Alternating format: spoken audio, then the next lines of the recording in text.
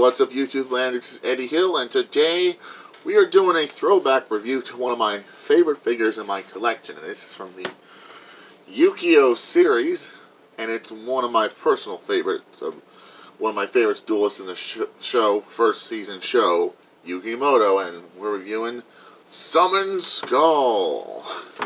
Not a bad figure. Wish he would have ball joints. Problem I have with him, wish he had ball joints. Hands do move, which I do can get that lightning strike attack attack form. All in all, great figure. I love this guy, and I love the paint on him and the accuracy on the colors. See his eyes. I don't know if you can see that, but they're they're green like they're supposed to. That's all I can tell you. If you can't make it out. This is Eddie Hill. Where I got this guy.